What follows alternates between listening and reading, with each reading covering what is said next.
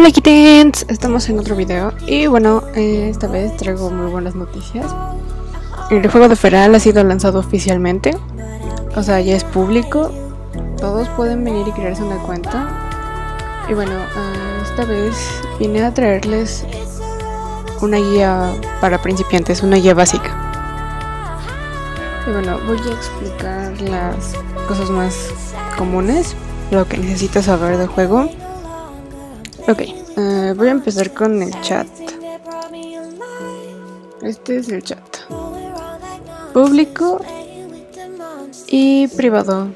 Puedes mandar mensajes a tus amigos o a gente por privado y será como un chat como si fuera en Facebook o en Messenger, en cualquier lugar de mensajes.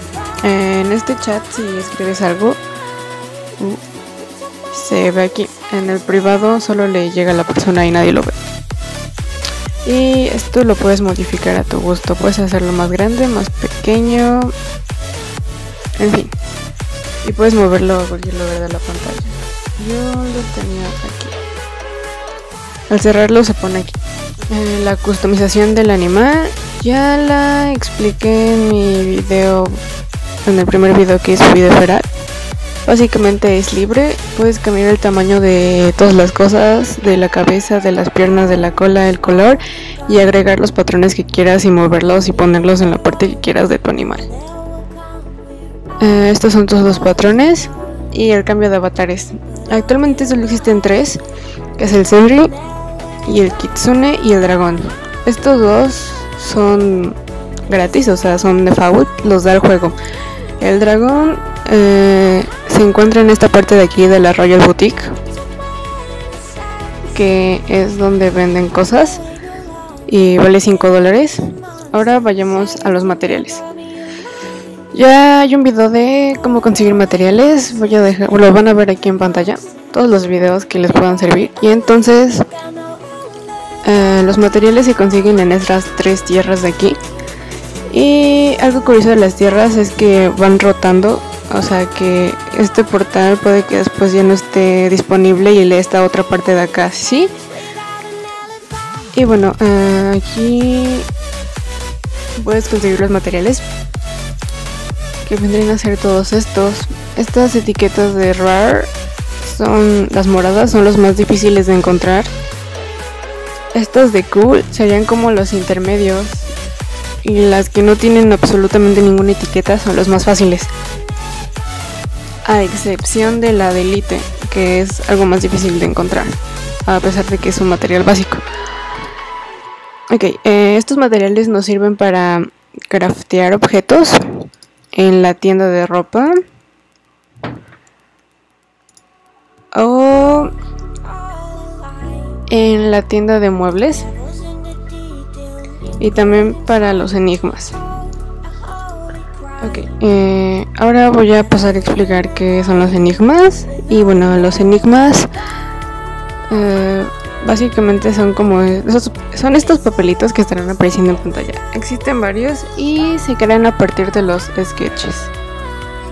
Aquí están los sketches y hay algunos enigmas que no he hecho.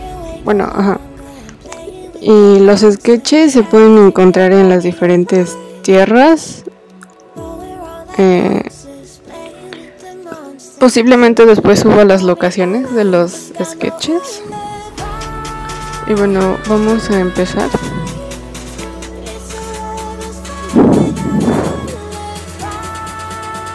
Eh, también hay una guía para ver las combinaciones. Esta es una combinación y vean, eh, las combinaciones ya están puestas, o sea, no todas son funcionales, puede que hagas una y no sirva. Se llama Soul Enigma, ¿ok? Una vez que obtienes el enigma, vas a la... bueno, los enigmas de como el alce son de tienda, los de como naranjas, el muñequito, son de la tienda de muebles que se encuentra son de la tienda de muebles que se encuentra aquí en Shattered Pie, en esta parte de aquí. Y bueno, los como morados como de un insecto son de aquí, del lugar de los tintes, pero luego seguiré explicar eso. Bueno, ah, aquí en la... Esta, cuando consigas un enigma, puedes venir. Y como ven, te lo desbloquea. Y básicamente los enigmas desbloquean nuevos objetos, ya sea de casa o de ropa. Y bueno, acá en este apartado están todos los objetos de enigma. Estas son las nuevas que, que me dio. Y cuando haces esto, craftas el objeto.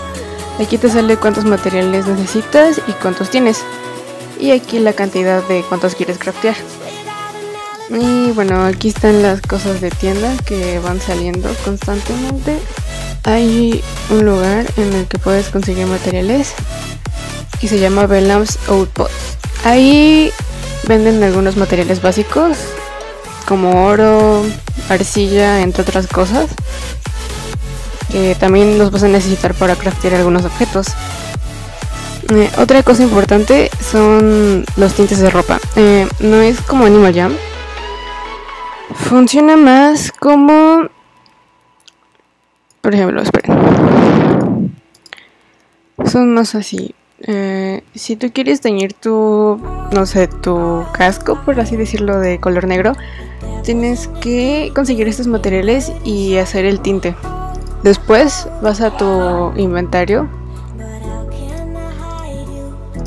Vas por ejemplo a la sección de ropa, seleccionas el objeto o la ropa que quieras teñir. También funciona lo mismo con los de las casas. Y le das en este que dice da item, teñir objeto. Entonces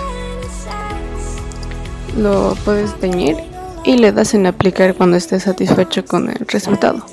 Ahora voy a hablar del sistema de intercambios. Sería básicamente lo mismo que Animal Jam. Solo que aquí la mayoría de cosas que se intercambian son ingredientes porque con eso puedes crear los objetos. Aunque también puedes comprar ingredientes, como ya había dicho en el video. Eh, otra cosa más acerca de las rotaciones. Aquí va a aparecer el calendario de cada cuando rotan.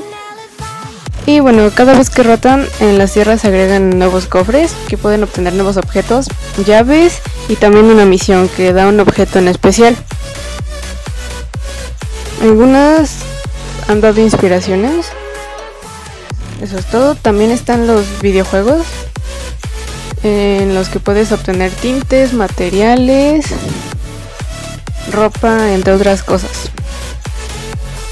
Aquí la moneda son los likes, así se llaman. Son estos de aquí. Puedes conseguir varias en las aventuras abriendo cofres, jugando y también aquí en la ciudad Fera. Al aquí en la ciudad Fera al ir acá derecho y aquí pueden ver que hay un personaje llamado Kino.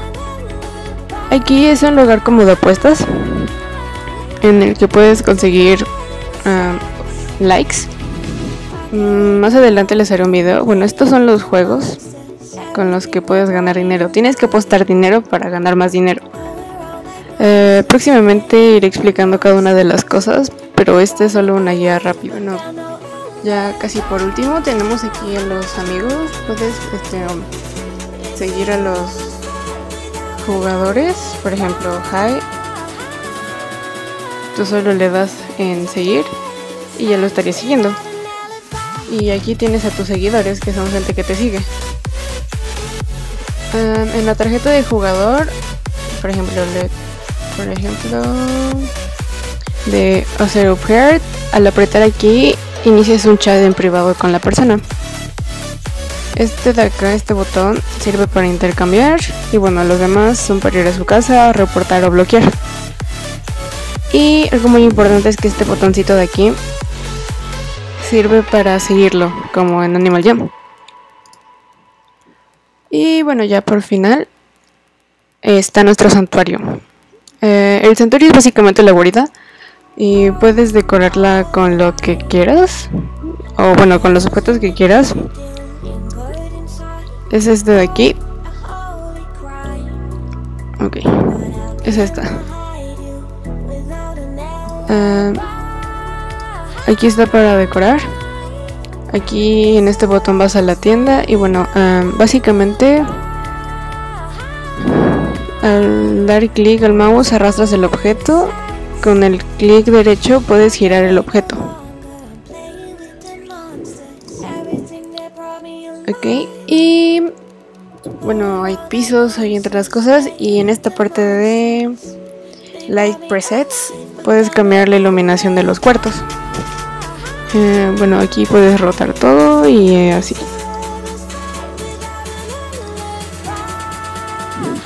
También puedes expandir el santuario, o sea, hacerlo más grande agregando más cuartos. Como ven aquí, em, cuestan materiales y se tarda tiempo. Al apretar este botón estarás confirmando que quieres agregar un cuarto y al apretar apply se estará haciendo el cuarto y aquí como dice que tardará 15 minutos estará listo en 15 minutos y tendrás un cuarto de este lado así como este de acá espera así como este.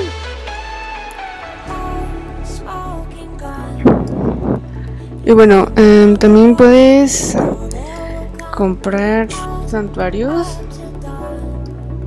Aunque ahora solo hay disponible uno gratis y los demás se pueden comprar acá en la boutique. Aquí están. Mm. Y bueno, eso sería todo por este video, gamers. Eh, espero les haya gustado. Bueno, espero se diviertan mucho en Feral y que esta guía rápida les ayude. Próximamente estaré explicando más cosas. Bye.